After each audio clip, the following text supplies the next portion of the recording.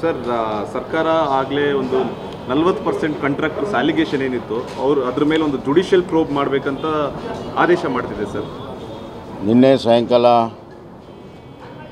ಒಂದು judicial enquiry ಕಮಿಷನನ್ನು ಸರ್ಕಾರ ನೇಮಿಸಿದೆ. ನಲ್ವತ್ತು ಪರ್ಸೆಂಟು ಅಲಿಗೇಷನ್ ಅವ್ರು ಏನು ಮಾಡಿದರು ಅಂತ. ಅಲಿಗೇಷನ್ ಮಾಡೋಕ್ಕತ್ತಿ ಒಂದೂವರೆ ವರ್ಷ ಆಯಿತು. ಇವತ್ತಿವರೆಗೂ ಯಾವುದೇ ಒಂದು ಕೇಸು ಕೂಡ ಪ್ರೂಫ್ ಕೊಟ್ಟಿರಲಿಲ್ಲ. ಕಮಿಷನ್ ಮುಂದೆ ಏನಿದೆ ಕೊಡಲಿ ಇನ್ಕ್ವೈರಿ ಆಗಲಿ. ನ್ಯಾಯ ಸಿಗುತ್ತೆ ಅನ್ನುವಂಥ ವಿಶ್ವಾಸ ನಮಗಿದೆ. ಎರಡನೇದಾಗಿ, ನಿಜವಾಗಲೂ ಕೂಡ ಭ್ರಷ್ಟಾಚಾರದ ವಿರುದ್ಧ ಈ ಸರ್ಕಾರ ಇದ್ದರೆ ನಾನು ಸಿದ್ದರಾಮಯ್ಯ ಅವ್ರಿಗೆ ಆಗ್ರಹ ಮಾಡ್ತೀನಿ. ಎರಡು ಸಾವಿರದ ಹದಿಮೂರರಿಂದ ಎರಡು ಸಾವಿರ ಇಪ್ಪತ್ತರ ಮೂರು ಮಾರ್ಚ್ವರೆಗೂ. ಎರಡು ಸಾವಿರ ಹದಿಮೂರರಿಂದ ಎರಡು ಸಾವಿರ ಇಪ್ಪತ್ತೊಂದು ಮಾರ್ಚ್ವರೆಗೂ. ಎಲ್ಲ ಕೇಸುಗಳು ಈ ಕಮಿಷನ್ ಮುಂದೆ ಬರಲಿ. ಸಿಲೆಕ್ಟಿವ್ ಆಗಿ, ರಾಜಕೀಯ ಪ್ರೇರಿತವಾಗಿ ವಿಂಡಿಕ್ಟಿವ್ ಆಗಿ ಮಾಡ್ದೇನೆ.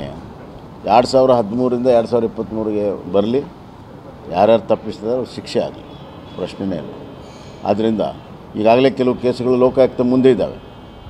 ಇದೇ ಫಾರ್ಟಿ ಪರ್ಸೆಂಟ್ ತೊಗೊಂಡಿದ್ದಾರೆ ಅನ್ನುವಂಥದ್ದು ಬಿ ಬಿ ಎಂ ಪಿ ಮತ್ತು ಇತರ ಇಲಾಖೆಯಲ್ಲಿ ಈಗಾಗಲೇ ಲೋಕಾಯುಕ್ತ ಮುಂದೆ ಕೇಸ್ಗಳಿದ್ದಾವೆ. ಅವುಗಳನ್ನು ಕೂಡ ಇದಕ್ಕೆ ರೆಫರ್ ಮಾಡಿದ್ರು ನಮ್ದೇನು ತೊಂದರೆ ಇಲ್ಲ.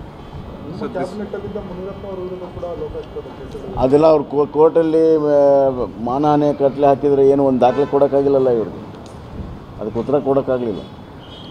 Sir, this was the main issue in the election also, that 40% allegation. Now the government has ordered a judicial probe by a See, sitting I- right, retired High Court judge. See, this allegation is there for last one and a half years. They are unable to give even a single page document. Now, anybody can give documents.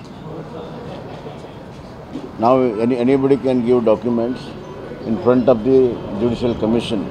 I urge if the CM Sidramaya is really concerned about corruption, he should order the cases right from 2013 to 2023 March and uh, let let there be transparency during their regime and our regime. Let us see who has taken 40% in which cases.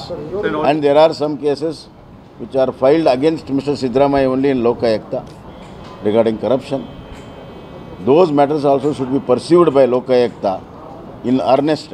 They are lying down without any action. I don't know why. Sir, and also there's a Bitcoin issue. They have formed a CA SIT, sir. Four member team has been up. Uh, That I already reacted. Let them do the inquiry.